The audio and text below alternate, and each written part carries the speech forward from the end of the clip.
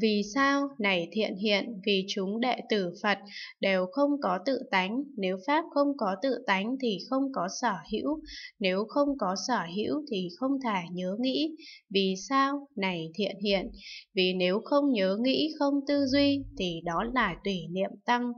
Này thiện hiện, Đại Bồ Tát khi tu hành bát nhã ba la mật đa nên tùy niệm tăng như thế. Nếu tu tùy niệm tăng như thế thì đó là Đại Bồ Tát làm việc theo thứ bậc, tu học theo thứ bậc, hành trì theo thứ bậc. Này thiện hiện, Đại Bồ Tát ấy khi làm việc theo thứ bậc tu học theo thứ bậc, hành trì theo thứ bậc như thế, thì có thể viên mãn bốn niệm trụ, cũng có thể viên mãn bốn chánh đoạn, bốn thần túc, năm căn, năm lực, bảy chi đẳng giác, tám chi thánh đạo, có thể viên mãn pháp môn giải thoát không, cũng có thể viên mãn pháp môn giải thoát vô tướng vô nguyện, có thể viên mãn bốn tịnh lự, cũng có thể viên mãn bốn vô lượng, bốn định vô sắc, có thể viên mãn tám giải thoát, cũng có thể viên mãn tám thắng xứ, chín định định thứ đệ, 10 biến xứ.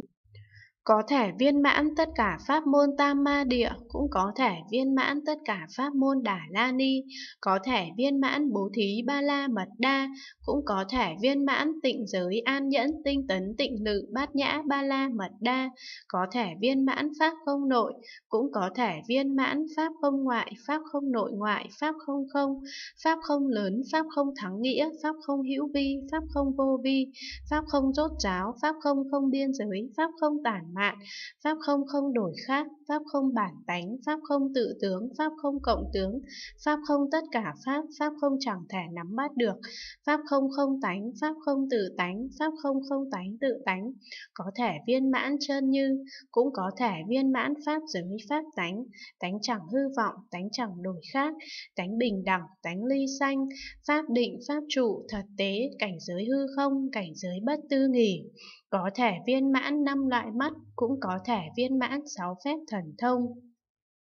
Có thể viên mãn 10 lực Phật, cũng có thể viên mãn bốn điều không sợ, bốn sự hiểu biết thông suốt, 18 pháp Phật bất cộng, có thể viên mãn đại từ, cũng có thể viên mãn đại bi, đại hỷ, đại xả, có thể viên mãn pháp không quên mất, cũng có thể viên mãn tánh luôn luôn xả, có thể viên mãn trí nhất thiết, cũng có thể viên mãn trí đạo tướng, trí nhất thiết tướng. Do đó chứng đắc trí nhất thiết trí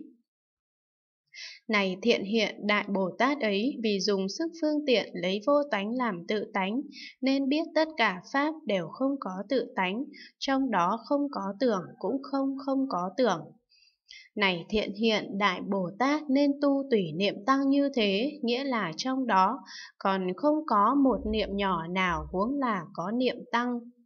Này thiện hiện, thế nào là Đại Bồ Tát tu tùy niệm giới? Này thiện hiện, Đại Bồ Tát ấy, khi hành bát nhã ba la mật đa, từ lúc mới phát tâm cho đến khi an tọa tỏa Bồ Đề nhiệm màu.